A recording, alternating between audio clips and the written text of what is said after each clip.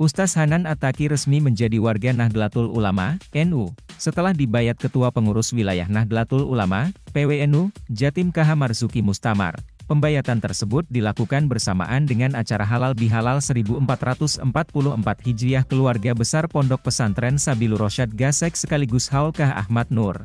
KH Mustamar, dan KH Murtado Amin di Ponpes Sabilur Rosyad Gasek, Malang, Jawa Timur pada Kamis, 11 Mei 2023, momen pembayatan Ustaz Hanan Ataki tersebut terekam kamera dan viral di media sosial, satu di antaranya diunggah akun Instagram ala underscore NU pada Jumat, 12 Mei 2023. Dalam video tersebut, terekam momen Ustaz Hanan Ataki dibayat oleh KH Marzuki Mustamar di depan ratusan jemaah Ponpes Sabilur Rosyad Gasek.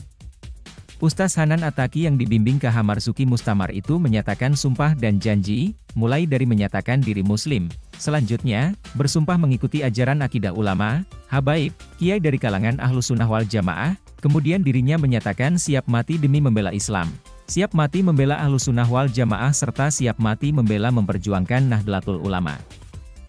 Saya, Saya Ustadz Hanan Attaqi Ustaz Hanan Attaqi menyatakan menyatakan benar-benar benar-benar zahiran wa batinan. zahiran wa batinan. Menerima menerima sistem bernegara, sistem bernegara. Bernegara, bernegara. Berbangsa, berbangsa NKRI, NKRI Negara Kesatuan Republik Indonesia. Negara Kesatuan Republik yang Indonesia berdasarkan yang berdasarkan Pancasila. Pancasila. Dan UUD 45 dan UUD 45 dengan bimbingan. Dengan bimbingan. Para ulama, para ulama. Para habaib. Para habaib. Min ahli sunnah wal jamaah. min ahli sunnah wal jamaah. Selanjutnya selanjutnya kami menyatakan kami menyatakan siap mati siap mati membela Islam. membela Islam. Siap mati siap mati membela ahlu sunnah wal membela jamaah ahli sunnah wal jamaah. Siap mati. Siap mati. Membela.